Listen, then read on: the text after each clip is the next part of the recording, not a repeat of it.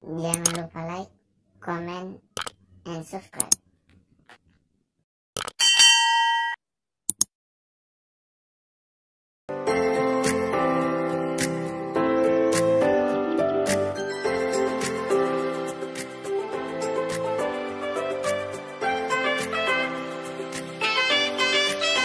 Assalamualaikum sahabat cerdas Bertemu kembali di channel pembelajaran FML Kali ini kita akan membahas konsep dasar sejarah Pada materi konsep dasar sejarah Kita akan mempelajari tentang satu Pengertian sejarah Dua, cara berpikir kronologis dalam mempelajari sejarah. 3. Cara berpikir diakronik dalam mempelajari sejarah. 4. Cara berpikir sinkronik dalam mempelajari sejarah. 5. Konsep perubahan dan keberlanjutan dalam sejarah.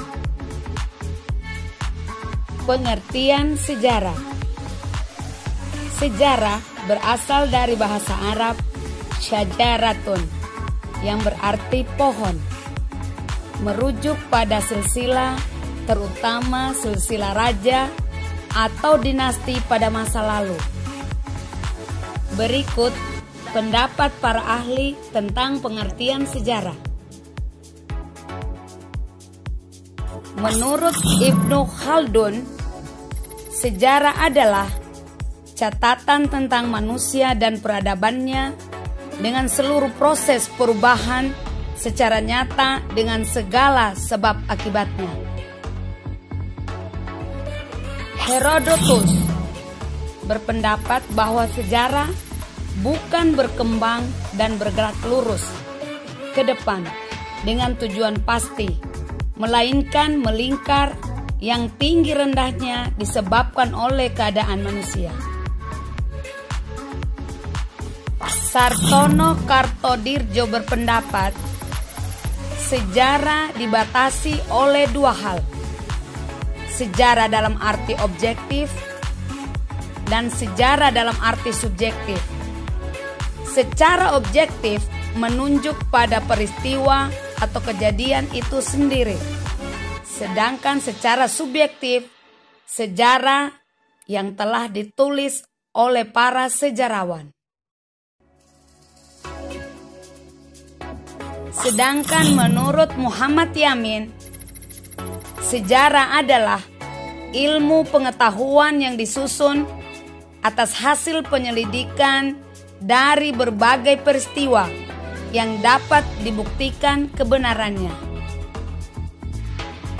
Dengan demikian, dapat kita simpulkan bahwa sejarah adalah ilmu pengetahuan yang mempelajari berbagai peristiwa atau kejadian yang terjadi dalam kehidupan manusia pada masa lalu. Konsep manusia ruang dan waktu dalam sejarah. Ada tiga unsur penting dalam peristiwa sejarah. Satu, unsur manusia. Dua, unsur ruang. Tiga, unsur waktu. Contoh, peristiwa proklamasi kemerdekaan Republik Indonesia satu, unsur manusia, Soekarno dan Hatta. Unsur ruang, Jalan Pegangsaan Timur nomor 56 Jakarta. Sedangkan unsur waktu, 17 Agustus 1945. Cara berpikir kronologis dalam mempelajari sejarah. Kronologi berasal dari bahasa Yunani yaitu kronos yang berarti waktu dan logos yang berarti uraian atau ilmu.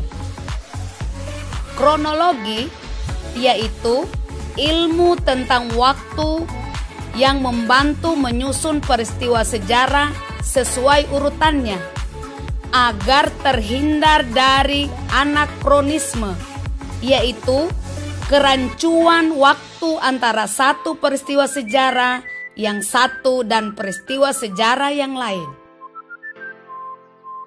Contoh, kronologi peristiwa proklamasi kemerdekaan Republik Indonesia 17 Agustus 1945. Cara berpikir diakronik dalam mempelajari sejarah. Diakronik berasal dari bahasa Yunani yaitu dia artinya melintas atau melampaui dan kronos berarti waktu.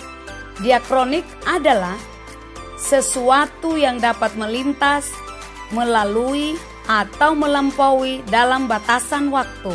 Dalam batasan waktu sejarah mengenal adanya periodisasi, yaitu pengklasifikasian peristiwa-peristiwa sejarah dalam tahap-tahap pembabakan waktu. Contoh berpikir diakronik dalam periodisasi sejarah Indonesia.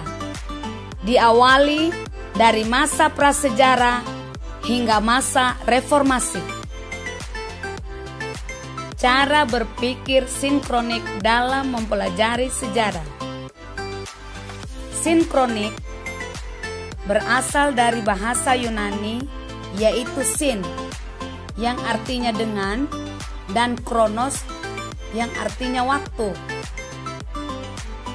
Dalam Kamus Besar Bahasa Indonesia, sinkronik diartikan sebagai segala sesuatu yang bersangkutan dengan peristiwa yang terjadi pada suatu masa.